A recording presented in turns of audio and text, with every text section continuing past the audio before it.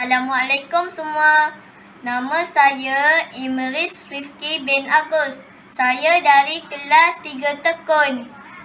Uh, hari ini saya nak buat kapal selam. Saya tunjukkan bahan-bahannya. Pita pelekat, tanah liat, tiup, duit siling, botol plastik dan bekas berisi air. Langkah-langkahnya adalah tebuk satu lubang di bahagian penutup. Kemudian tebuk tiga lubang seperti ini. Seterusnya letak letak tiup ini di sini macam ni. Seterusnya letak tanah liat seperti ini.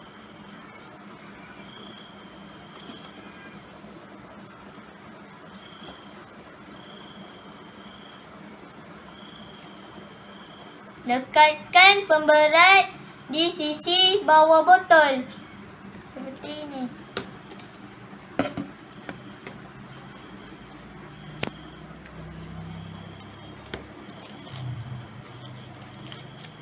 Lekatkan pemberat seperti ini. Seterusnya, tenggelamkan kapal selam ke dalam air seperti ini.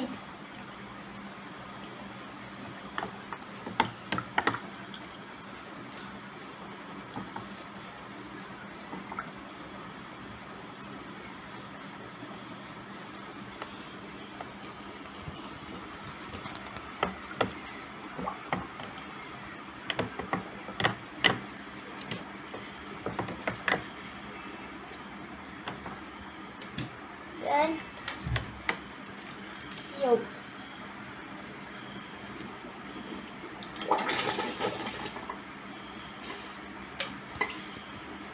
Sekian, terima kasih.